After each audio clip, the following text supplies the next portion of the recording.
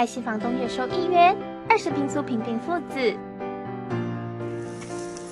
啊，你咧玩具拢要落去？嗯。也是大同区八十三岁的胡老先生，原本带着重度智障的杨子，租屋在公寓的三楼，爬楼梯非常吃力。住伫咧台南嘛，啊，敢有咧联络？拢无联络。可能死了会。恁姐姐哦，哦，恁姐姐她可能死掉了，因为她没有联络。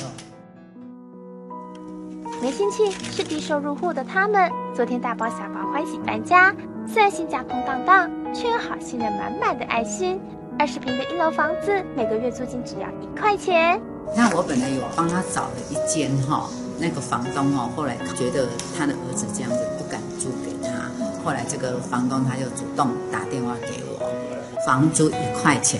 我想说，哎，怎么是真的一块钱？我说你会不会打错？他说没有，就一块钱。就说放着也是放着，但是他们有这个心，真的非常非非常好。热心房东签下一年合约，却低调不愿曝光。足欢喜，足欢喜的吼！啊，你本来的厝租偌济？万万亿，万亿吼！啊，爸爸明仔载爱看医生哦，哎，明仔载爱去爱看医生嘿。去关家医院。哎，对。哎，你要甲送哪家啊？等新闻，好心有好报，报道。